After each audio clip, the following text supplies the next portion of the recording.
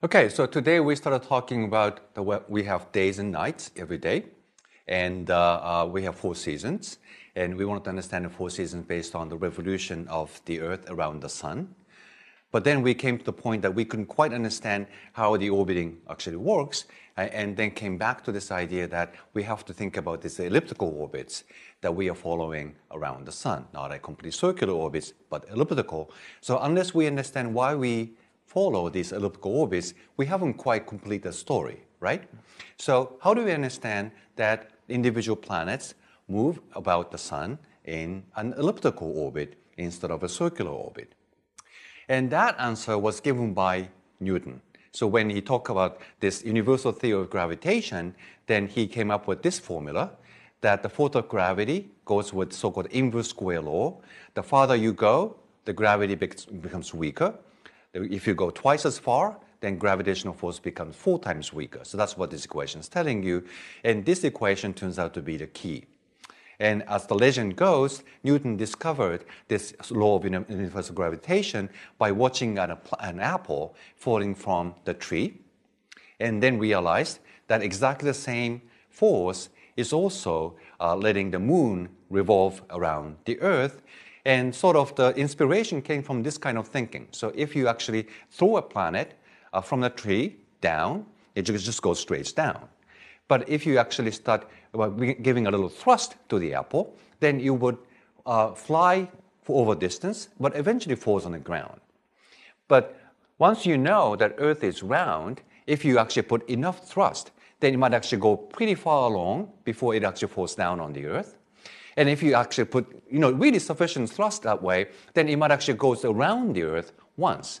And that's exactly what the moon does. So depending on this uh, the initial thrust, you may find that something just falls or something can go around the Earth based on exactly the same idea of this universal gravitation. So that's the way we understand that things can actually move about an object based on the same idea that something is being pulled by a mass uh, due to this universal gravitation. I learned that this, this legend that Newton was observing an apple falling from the tree was just a legend. That's probably not a fact. But apparently, Newton did have an apple tree. And at the University of Tokyo, we wouldn't have a descendant of Newton's tree in our botanical garden. So if you happen to have a chance to visit Tokyo, don't miss out on this descendant of Newton's apple tree. But this law of universal gravitation wasn't quite enough because that only tells you how much an object is being pulled. But what you also need to know is how the object is influenced by the pull. And that is given in terms of this another famous equation called F equals ma, which you might have actually studied in high school physics class. So in this equation, m stands for mass. And, and this idea is called inertial mass, namely that if you are given a force, and if the mass is bigger, you get less acceleration. So A stands for acceleration, namely that the mass is a measure of how difficult it is to change the motion of an object. And that I think is plainly clear just by comparing these two, two objects. So suppose you provide the same push on a tank and on a little kid on this tricycle. And with the same push, you can hardly move this tank at all, right? Because it's so massive. But with the same little push, the little poor kid may fall down. So you can really change the, the course of his motion. So which one is easier to move is really determined by how massive the object is.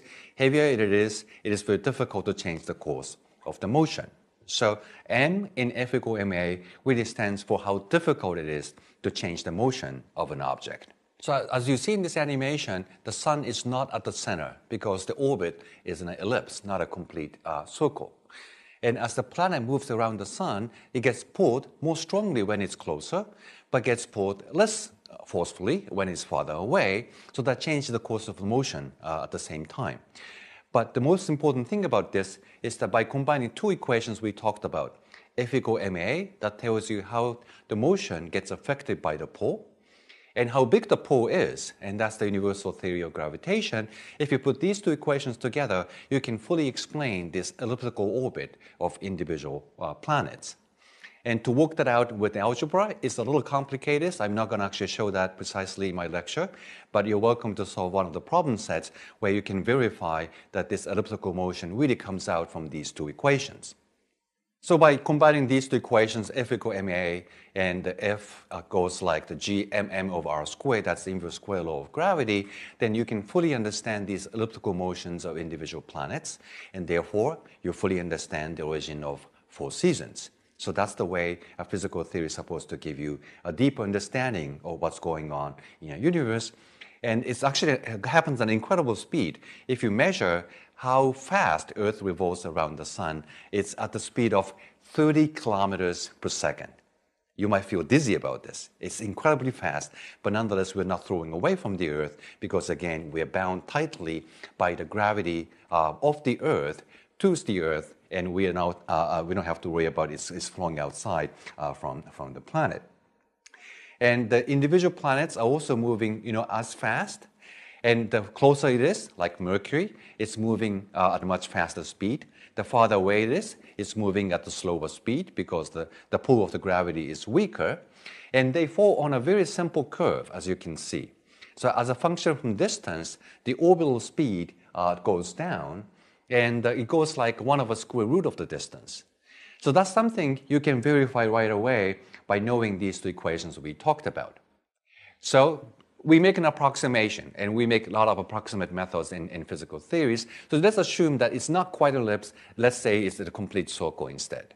It's a pretty good approximation for this purpose. So if it is a completely circular orbit, then the distance from the sun doesn't change. So r is just a number for each planet. On the other hand, when things are moving about, then the pull by the gravity should be balanced by so-called centrifugal force that is trying to pull us away from the sun. And there's a formula for that too. So mv squared over r, where v is the velocity of an object. m, again, is the mass of the planet here. So this pull by the sun due to gravity and the centrifugal force that is trying to pull us away from the sun should balance against each other, so we set them equal. And here's the power, uh, really the power of having an equation. By setting them equal to each other, you can solve for the velocity of the planet. And that goes like this. And this big M is the mass of the sun that's common to all the planets. We experience the same force of gravity due to the same sun. G is Newton constant. That tells you how strong the gravitational force is. So these two numbers are fixed for all the same planets in the solar system. The only difference is this R, distance from the sun. So that gives you a very precise prediction that the velocity of an individual planet goes down like 1 over square root of the distance from the sun. And that's exactly what this data show. They follow on the same smooth curve. That velocity goes down like 1 over square root of the distance. So outer planets go much more slowly, inner planets go much faster, and we, uh, we can understand all of these planets on the same equation, same curve, on a single footing. So that's the power of this Newtonian gravity. So uh, question to you then is that is there anything else we can do about this theory of gravity? And, and you might start asking some simple questions. That's the subject of the next clip. You know, why do all these objects follow the same idea of Newtonian gravity when their masses are so different from each other? Mercury is pretty light. Jupiter is humongous. They differ a lot in their masses, but they still seem to follow the same curve. Do you have any idea what's going on here? So we'll talk about that next.